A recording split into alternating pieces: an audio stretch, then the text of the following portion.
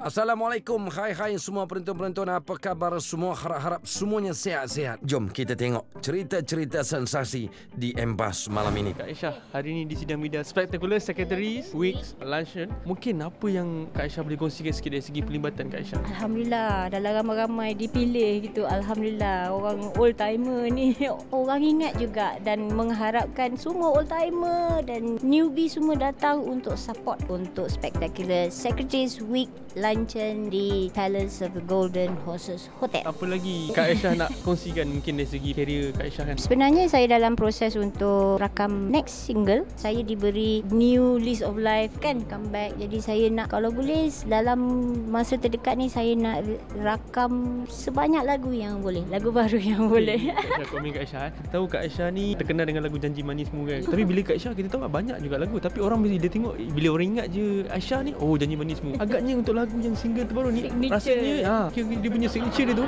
ada tak um dia macam tu? Sebenarnya artis ni bila dia ada lagu especially kalau first big hit dia dia memang akan sentiasa dikaitkan dengan lagu tu. Kak Nora, apa yang Kak Nora boleh kongsikan sikit penglibatan Kak Nora dalam Spectacular Secretaries Weeks Luncheon ini? Ini kali pertama saya berganding dan berkongsi pentas dengan penyanyi kita Kak Aisyah dan juga Alif Nasir. So satu satu-satunya peluang yang tak dapat yang tak boleh dilepaskan oleh semua di luar sana especially meraihkan sewa-sewa pada 25 hari bulan April nanti. Katanya tadi di sidang media Kak Nora macam kurang bekerjasama dengan Kak Aisyah kan. Jadi sikit sebanyak bila dapat peluang ni bagaimana apa yang boleh digambarkan dan mungkin ini adalah satu peluang yang mungkin untuk selepas ini akan ada gabungan lagi ke apa? Yes, sebenarnya ramai yang selalu nak nak tengok saya bergabung dengan Kak Aisyah. So in, di pentas inilah di Palace of the Golden Horses pada 25 April nanti saya akan bergabung dengan Aisyah dan kami akan menyanyi bersama-sama disertai dengan Alif Nasir. Get your ticket, get your table, datang uh, meraihkan sama-sama sambil-sambil kita berhibur dan kita juga beramal dapat pahala.